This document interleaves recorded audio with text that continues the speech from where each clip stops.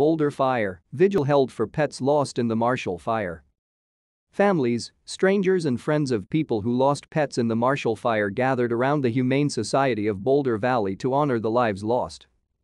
I'm so very sorry to all the people with their animals, my heart is with you. I can't imagine, Julia Spiker, who attended the vigil, said.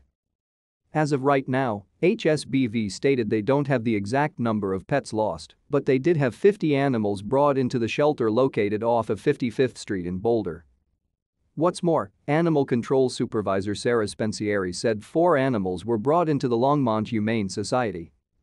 To stay up to date with latest top stories, make sure to subscribe to this YouTube channel by clicking the button above this video. We don't have kids, so our pets are our kids to us, Lynn Herklotz, who attended the vigil, said.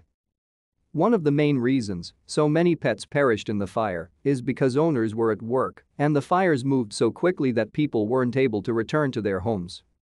For the animals we couldn't find or didn't have time to get into trailers, we would cut them loose, Spensieri said. Several people spoke at the vigil and grieving resources were handed out to families in attendance. We all love our pets. That's why we do animal control. That's why the Humane Society is here, Spensieri said.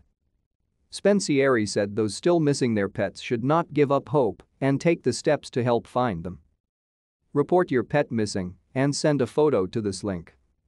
The Humane Society will add their photo to the Lost Pets link.